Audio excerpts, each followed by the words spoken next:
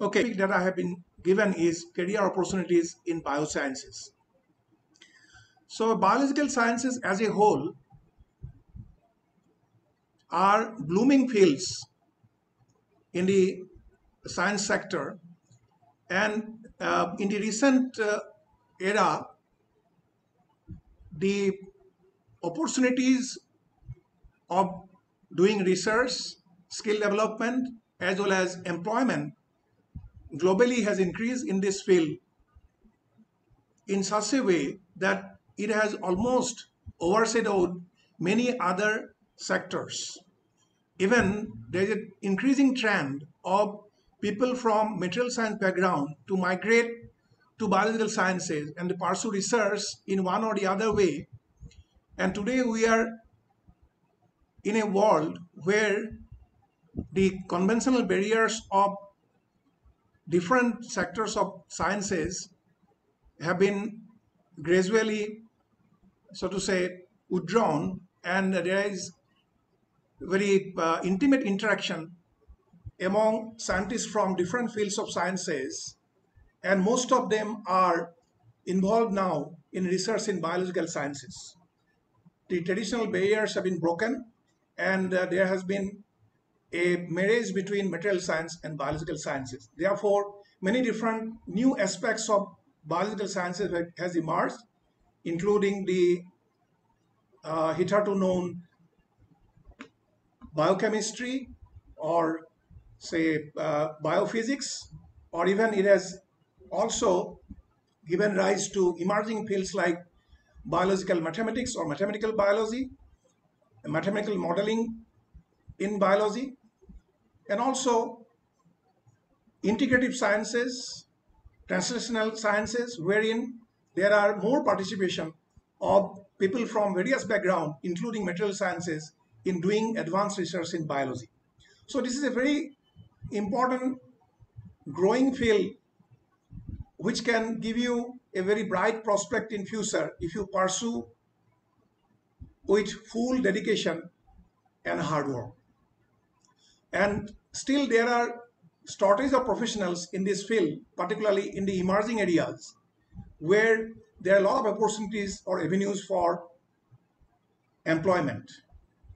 Job prospects are 10 times almost higher than that of any other field known.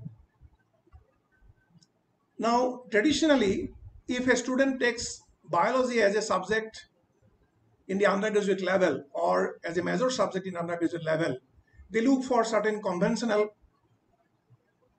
careers in future. Most commonly, we look for conventional careers like uh, medicos, like physician or surgeon, or maybe most of the students would like to become a college professor or university professor, or maybe if they venture into the field of pharmaceuticals or medical and allied fields, then they can look for avenues for employment in as pharmacist, psychiatrist, biochemist, biophysicist, etc. Or some of them may also venture to go for education sector, engaged in uh, high school teaching. Then other related jobs include uh, the physical therapy, then veterinary science, veterinary science and animal husbandry.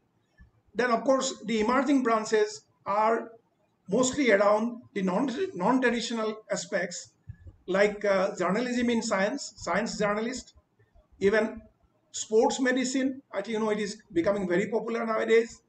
Then biotechnology related careers in biotech and pharmaceutical sciences, and even, even in management and sales sector. There are a lot of opportunities coming up in the uh, today's world for biology students. Now one can take up the job in some of the major areas like agriculture, animal husbandry, environmental conservation, genetic engineering, healthcare, medicine, or industrial research and development. In India, or as a whole globally, we do not find lot many biotech or bioscience related companies which can employ large numbers of biology graduates or master degree holders. in India, the progress of establishment of biotech industry or biology-based industry is even slower compared to other advanced countries like US, Canada, or European countries. So far, only around 150 plus industries have uh, established as successful industries in the country. And these are some of the companies having blooming business in India. So in the entire, uh, so to say, industrial sector, Biocon is leading. And of course, there are many other industries which are engaging lot many biotech degree holders and providing employment. And also they are contributing towards revenue generation and contributing towards national GDP in terms of products and uh, license goods like Biocon, Serum Institute of India, Panacea Biotech, Mahyco, then all others listed here. I'll not go into naming every uh, company, but these are some of the leading companies in India. The prospect of bioscience as a career for the students lies in three important aspects. Number one, it is a rapidly growing field, as I say, and has a global scope. So the avenues for employment is in all countries of the world, particularly in advanced world, it, the employment opportunities for biology stream is very high. And then the research scope is also very vast. And you may also say that most of the research advancement that have taken place in the last 20 to 30 years are uh, mostly in the areas of biology, either in medicine, pharmaceutical, or any other branches of biological sciences.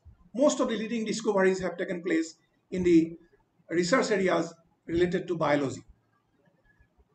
If you are able to surpass the initial hurdles to establish yourself as a, as a career seeker in biology, you may establish yourself successfully in the profession and you may uh, build your career as expected.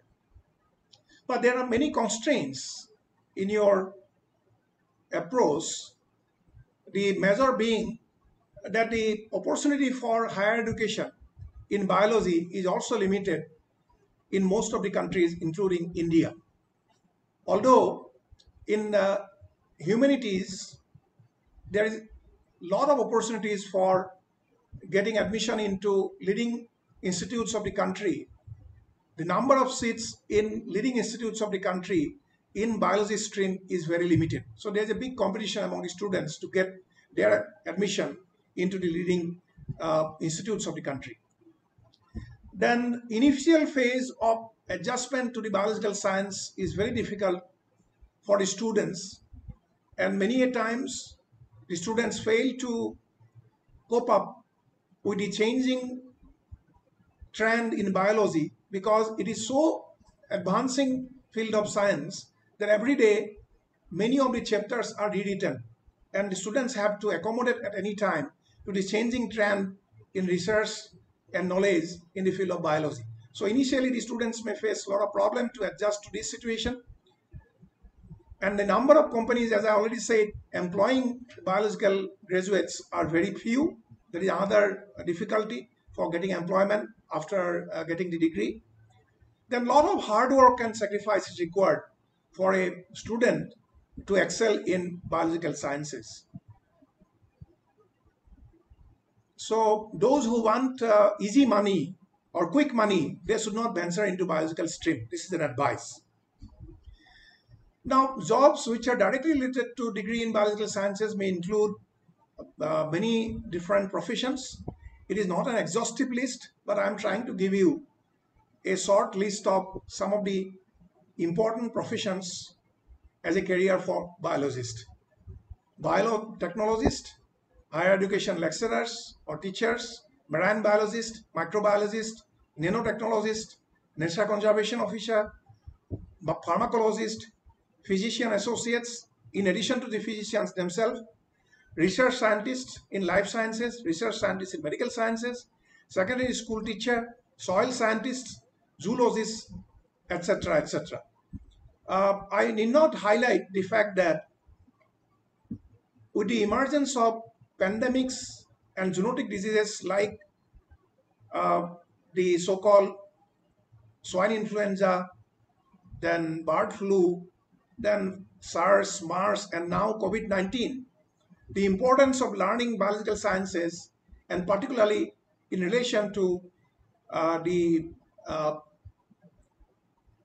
epidemiology and uh, medical sciences or paramedical sciences did not be emphasized more. And more and more research is needed in terms of the emerging and re-emerging infectious microorganisms which are causing, diseases in human as well as animals. I think students will be uh, finding it interesting to learn that it has been seen that in the last 100 years, out of all the emerging diseases in human, around 70% are of zoonotic origin. That means they are originating from one or the other species of animals. It is also said that pandemic uh, COVID-19 is not the end of the history of pandemic and everybody is also alert in, in the near future much more uh, so to say difficult pandemic may arise and already uh, yesterday there has been one report that uh, in Kazakhstan bordering China uh, more than 500 individuals suffered from a hitherto unknown kind of pneumonia caused by a virus and more than 500 people have been affected within a month. So this is quite alarming. And today the Chinese government has given an alarm to the Chinese residents of Kazakhstan to uh, the emerging trend of that pandemic in future. So who knows that that kind of pandemic, pandemic may emerge in the next few months in the entire globe and which may create havoc. So we should be always ready with that. And to acquaint with this kind of trending pattern in emergence of uh, newer pandemics of this sort, I think more and more research in biological sciences is needed. And whatever contribution has been made in medical research, I think most of them has have come from the common biologist, not restricted to medical science people alone. So you'll be also finding it uh, interesting to note that in uh, medical research stream also, even in our country, most of the people involved are, maybe more than 80% of people involved in medical research are from the general background, either from the background of botany, zoology, or any other biological sciences. So I have many friends in the ICMR who are hailing from uh, some other educational background. There are medical scientists originally who were marine microbiologists or who were from simple zoology background, but they are doing uh, very leading research in medical medical research. Then biology related jobs are particularly competitive. So it is valuable and sometimes crucial. And uh, most important in biological education is to acquire work experience or skill rather than gathering only knowledge out of theoretical reading. So during your uh, undergraduate program or in master degree program, you must have to try to acquire more knowledge in terms of theory, but at the same time, you must have to develop adequate skills so that you can demonstrate your capabilities in dealing with the problem solving uh, situations so that you can prove yourself to be a very good researcher in biology. So you please give more importance to learning practical skills.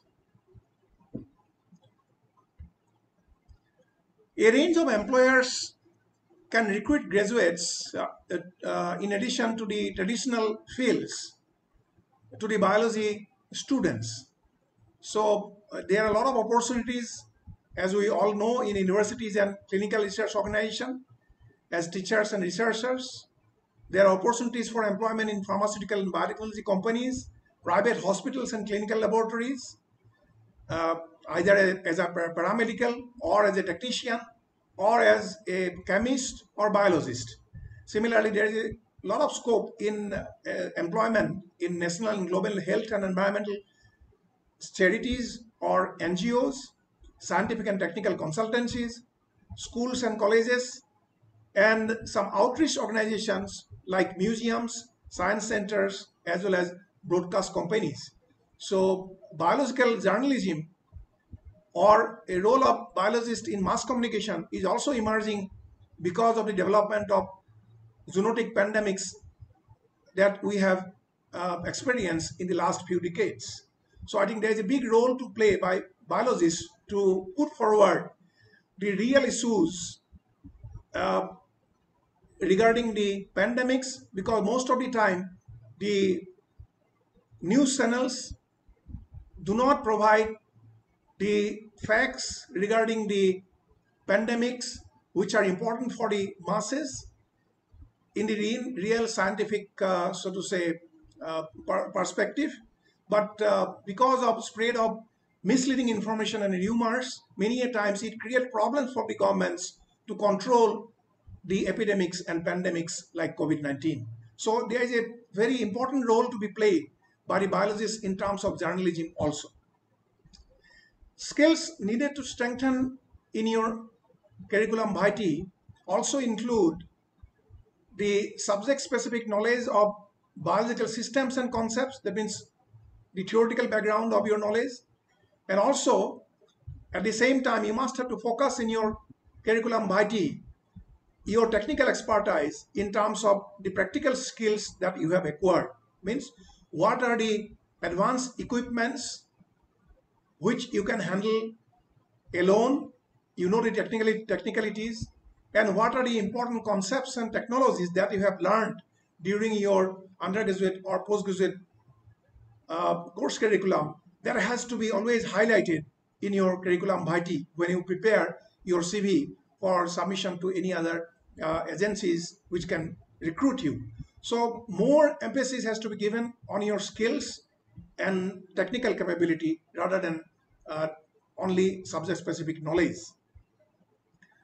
Additional skills that are necessary for biotech or biology graduates for making themselves employable also includes many different uh, aspects. Say, for example, you need to have a good communication skill. You need to develop skills for working in a team. You must have to have uh, the capacity to work with your peers in a congenial environment. Then you must have to have an organizational skill showing your leadership quality so that you can organize uh, events or experiments in a team and then you should also be able to show your ability to confidently handle the masses of diverse data. That means you must have to develop the capacity to handle big amount of data, analyze them by employing mathematical or statistical methods and draw conclusion and interpretation out of it. So that statistical skills are now a part of the skills of any biologist.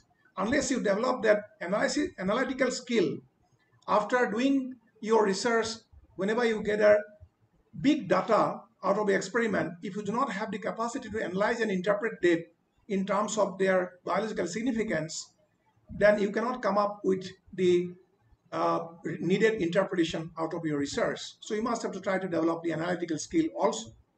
You must also have to develop the faculty of problem solving attitude and capability and also you must have to have the skill for managing your time in a better way so that within a short period of time systematically you work and come up with a, a fruitful result.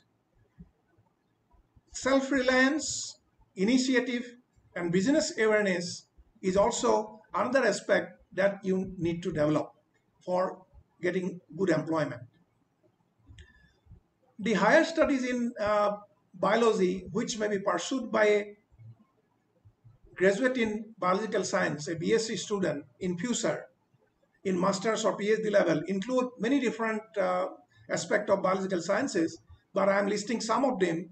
You may pursue Master of Science in Biological Sciences, such, or Master of Science in Applied Biology, Conservation Biology, Computational Biology or Bioinformatics, Environmental Science, Microbiology or Biochemistry, Plant Molecular Biology, Biotechnology, Food Technology, Master of Business Administration, Doctor of Philosophy in Biological Sciences, Doctor of Philosophy in Biotechnology, or any other branches of biological sciences. But of course, as I already said, that this list is not exhaustive. There are many more other branches of biology where you can pursue your master's uh, uh, higher education. Some of the additional career opportunities also include biology content developer. Uh, this is one aspect which has been neglected in our country, but uh, of late this is growing in a bigger way. Biology content developer, developer or biology technical writer. This is one profession it is growing in a better way wherever uh, more and more biological industries are being developed. So as you know, when the products are developed by the biological industry, they must have to be marketed. And to make the uh, products user-friendly and to develop awareness among the masses about, about the products, the companies used to develop a lot of manuals, online and offline portals, as well as uh, the reading materials. So they are needed to be developed by the scientist or the biologist. Uh, only te technically uh, uh, skilled person like a computer science person uh, or an information technologist cannot have the skill of developing such kind of technical, uh, so to say, monographs or manuals or biological contents. So there we need a lot of effort from the biologist to develop such kind of content. So biological content developer or technical writers are coming up as a good career opportunity for biologists today. Then uh, biology technician, conservationist, ecologist, geneticist, horticulturist, molecular biologist, plant biochemist, wheat scientist, forest ranger, then farming consultant. These are some of the additional career opportunities for the students of biological sciences.